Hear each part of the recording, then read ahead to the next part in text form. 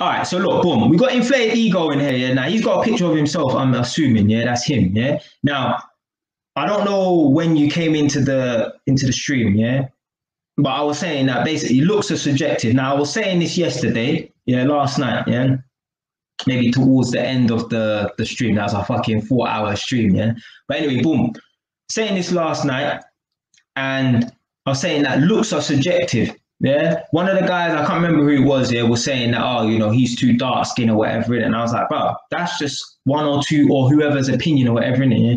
There's some girls, yeah, they like a man to be dark. Yeah, like inflate ego. You and I look like we're probably similar color, in it. Yeah, we're just like that standard average black skin color. Yeah, not too dark, not too light. Yeah, just straight bang in the middle. Yeah, we ain't pulling out the rainbow here and saying, oh, you're this shade or whatever in it, but we're just average. Yeah, there's some girls that will look at both of us and say, no, you're too light. I like a man who's black. Yeah. I like a man as black as my hair. Yeah. Yeah. You and I can stand up in front of 500 gal. Yeah. I can stand up right next to inflated ego. Yeah.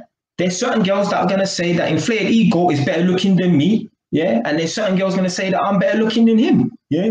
Who is actually better looking out of me and him? Who knows? Yeah. It's all subjective.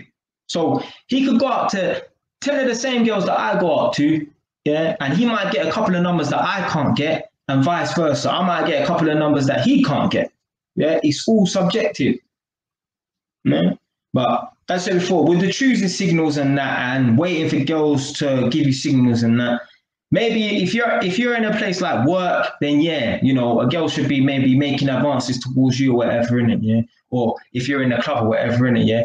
But when you're out on the street, yeah, if you see a girl that is nice, yeah, just go and approach the girl, man. You ain't got nothing to lose, yeah. I'm not talking about maybe approaching the guy in front of a bunch of people, but if the girl's on her own or she's just walking through the mall or in the shop, just, I beg you, yeah, grab your balls, yeah.